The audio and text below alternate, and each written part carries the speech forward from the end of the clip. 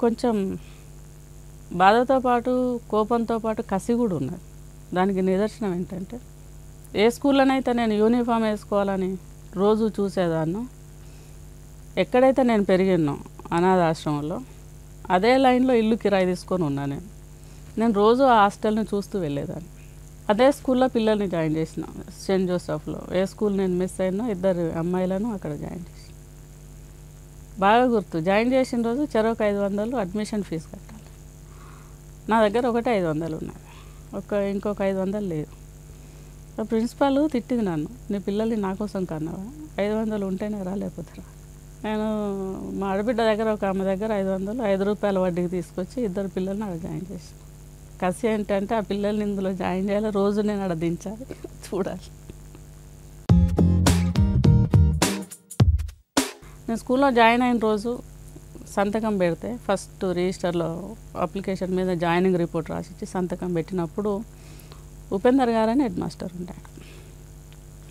ఆయన నా సంతకం చూసి అమ్మో నీ సంతకం మామూలుగా లేదు.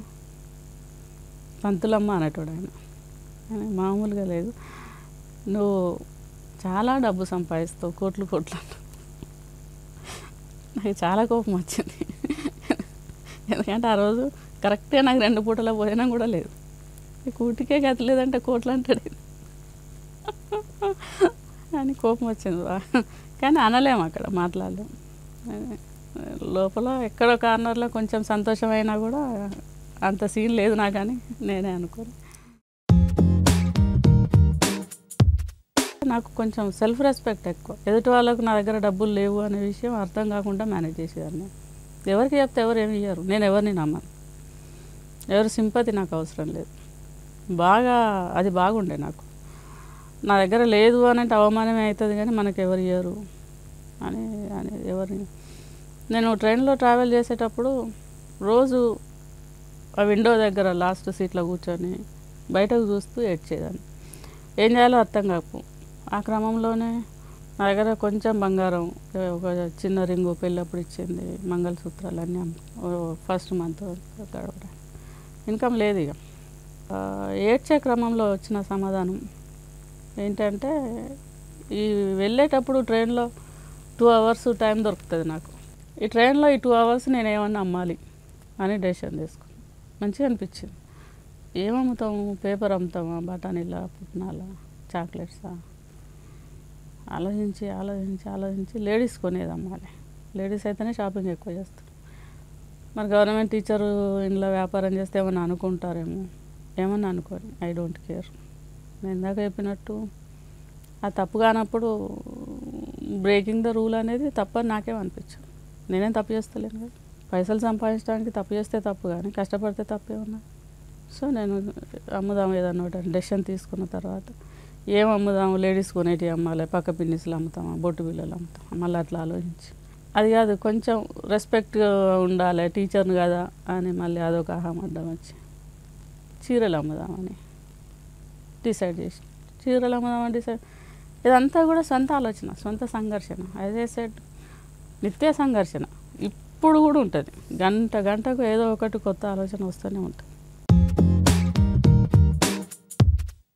ఈ చీరలు కొనాలంటే మళ్ళీ పైసలు కావాలి. ఇన్వెస్ట్మెంట్. నా దగ్గర ఏమీ లేదు. వంద రూపాయలు కూడా లేవు. అర్థం కాక మా చెల్లెలు వాళ్ళు హన్మకొండలో ఉండేటోళ్ళు. ఆమెకు పెళ్ళైంది. అబ్బాయికి ఇచ్చారు రవీందర్ అని. చెల్లె పేరు లక్ష్మి.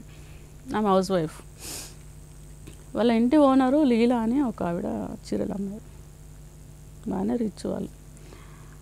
ఆమె దగ్గరికి వెళ్ళి ఒక పది చీరలు అప్పుగా ఇస్తే అమ్మి పైసలు ఇస్తానంటే ఇవ్వలేదు. గమ్మత్తైన అనుభవం అక్కడ ఏంటంటే ఆ నెక్స్ట్ టూ త్రీ డేస్లో వాళ్ళ ఇంట్లో ఏదో ఫంక్షన్ అయింది. ఆవిడ మ్యారేజ్ డేనో బర్త్డేనో సంవాట్ ఫస్ట్ టూ డేస్ అడిగితే ఆవిడ ఇవ్వలేదు ఆ తర్వాత మంచి గిఫ్ట్ ఒకటి పట్టుకొని పోయిన వాళ్ళ ఫంక్షన్కు. కాకా పట్టడానికి ప్రేమతోనిగా. వెళ్ళి ఆమెను మళ్ళీ తర్వాత రెండు మూడు రోజుల తర్వాత పోయి అడిగితే పది చీరలు తను ఇచ్చారు. అప్పుగా మేబీ ఇరవై ఐదు వందలు సమాట్ అంత.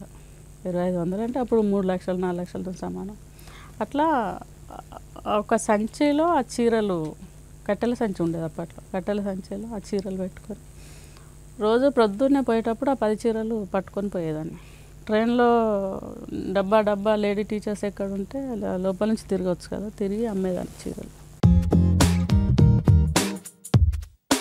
చదువుకోవటం ఆపలేదు. ప్రగతి యూనివర్సిటీలో ఎంఏ ఇంగ్లీష్లో జాయిన్ అయినా అప్పుడే. ఈ చీరలు అమ్మిన పైసలతో. ఎంఏ ఇంగ్లీషు ట్రావెల్ చేయటం వల్లనూ నాకు ఇంగ్లీష్ అర్థం కాకనో ఏమైందో తెలియదు కానీ ఇంగ్లీష్ ఫెయిల్. కాకతీయ యూనివర్సిటీలో ఎంఏ ఇంగ్లీష్ ఫెయిల్. గమ్మత్ ఏంటంటే కాకతీయ యూనివర్సిటీలో అదే ఇంగ్లీష్ టెక్స్ట్ బుక్లో ఇవాళ నా పాట ఉంది.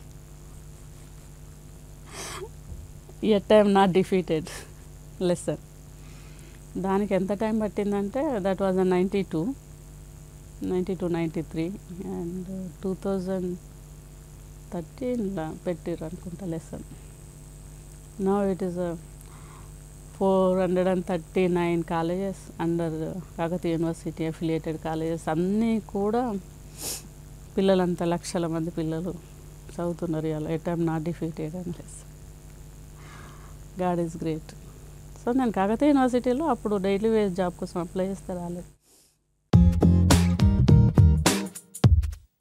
నైన్టీన్ మంత్స్ అది అయిపోయిన తర్వాత పరకాల మండలంలో నాకు రామకృష్ణాపూర్కు రెగ్యులర్ టీచర్గా జాబ్ వచ్చింది.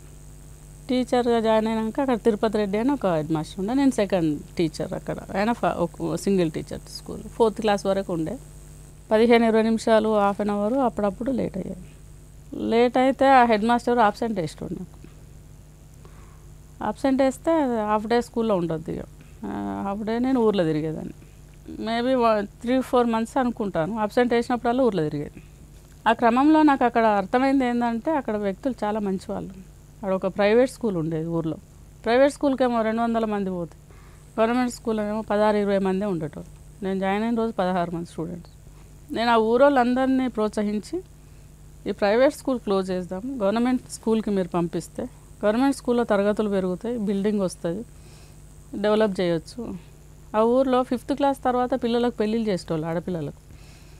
సో ఇలా ఉండొద్దు మనం తరగతులు పెంచుకుంటే పిల్లలు ఇక్కడ ఇదే ఊర్లో చదువుకోవచ్చు పెళ్ళిళ్ళు చేయొద్దు. దానికోసం బాగా ఎంకరేజ్ చేసి ఫస్ట్ తిరుపతి రెడ్డి సార్ను జయించాలి ఎట్లా? ఆయన ఆబ్సెంట్ వేస్తాడు ఆబ్సెంట్ పడొద్దు అని చెప్పి టీవీఎస్ చాంపు కొనుక్కు నాకు సైకిల్ కూడా తొక్కరు ఎప్పుడు అవకాశం రాలేదు. టీవీఎస్ షాంపూ కొనుక్కొని రోజు తొందరగా వెళ్ళేదాన్ని. నాకు హండ్రెడ్ పర్సెంట్ పని ఇష్టం. మా అమ్మ అనిపించడం ఏది ఇష్టం ఉండదు. వన్ టు బీ పర్ఫెక్ట్ ఆ క్రమంలో ఆయనకన్నా ముందెళ్ళి ఆయనకు అబ్సెంట్ అయ్యటం మొదలుపెట్టిన ఆయన హెడ్ మాస్టర్ నేను ఫస్ట్. ఆ ప్రైవేట్ స్కూలు మూయించేసి ఆ పిల్లలందరినీ ఇక్కడ జాయిన్ చేసి ఫోర్త్ నుంచి ఫిఫ్త్ పర్మిషన్ ఫస్ట్ సాధించింది అది ఆ ఊర్లో. ఆ ప్రైవేట్ స్కూల్ హెడ్ మాస్టర్ బెదిరించిండు నన్ను. బండి మీద చేయి పెట్టి ఇట్లా ఆపి. నీ అంతు చూస్తా. చచ్చిపోయేది ఒకరోజు పుట్టేది ఒకరోజు నీ సాగుకు నేను భయపడలేవయ్యా. ఏం చేసుకుంటావో చేసుకో